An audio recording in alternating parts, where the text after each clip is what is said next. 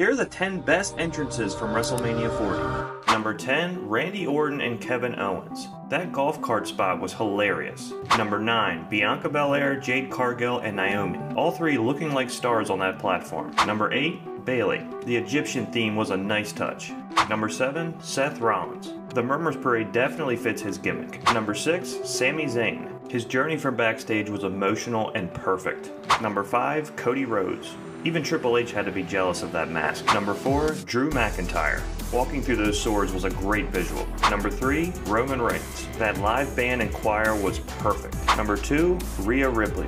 This was the best live entrance music in WrestleMania history. Number 1, the final boss, The Rock. His Brahma Bull logo was made entirely of fire, all making him look exactly like a final boss. Which WrestleMania 40 entrance was your favorite?